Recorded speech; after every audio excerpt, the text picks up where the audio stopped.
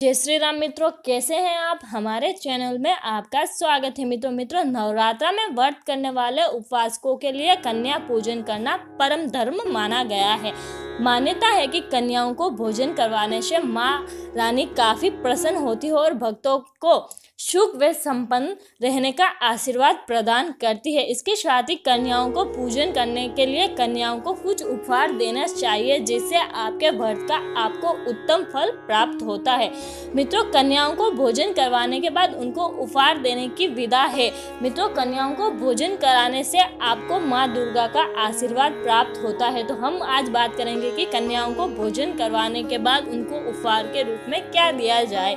मित्रों, कन्याओं को भोजन करवाने के बाद विदा करते समय नारियल का टुकड़ा देकर विदा करें। ऐसा करने से माँ लक्ष्मी आप पर काफ़ी प्रसन्न होती है, क्योंकि नारियल या श्रीफल माँ लक्ष्मी का प्रतीक माना जाता है। कन्याओं को नारियल देने से आपके घर में सुख समृद्धि के साथ माँ लक्ष्मी का भी निवास होता है। मित्रों, इसके साथ ही आपको कन्याओं को भोजन कराने के बाद, कन्याओं को भोजन कराने के बाद कुछ फल देना चाहिए। इसका आप के जीवन में विशेष महत्व आता है। कन्याओं को विदा करते समय कम से कम एक फल अवश्य देना चाहिए। इन फलों को देना काफ़ी शुभ माना गया है।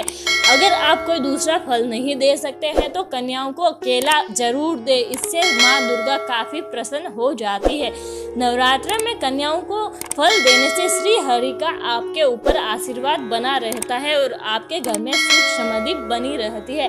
मित्रों, इसके साथ ही आपको कन्याओं को भोजन कराने के बाद लाल चुनरी या लाल वस्त्र उपहार के रूप में देना चाहिए।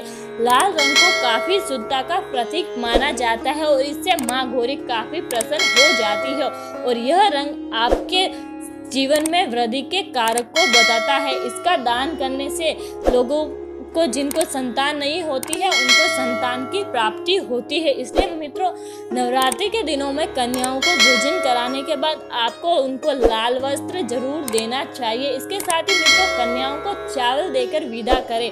परंपरा है कि महिलाओं परंपरा है कि कन्याओं को चावल देने से आपके सभी कष्ट दूर हो जाते हैं, कष्ट दूर हो जाते हैं और आपके घर में धन की वृद्धि होती रहती है। मित्रों, इसके साथ ही आपको कन्याओं को भोजन करा के विदा करने के बाद आपको उन्हें हमेशा ही दान में सिक्का देना चाहिए। मित्रों, आप कन्याओं की झोली में सिक्का डाल दे अपनी इच्छा के अनुसार। ऐसा करने से माँ भवानी का आप पे आशीर्वाद बना रहता है और आपके घर में माँ लक्ष्मी का सदा ही वास बना रहता है।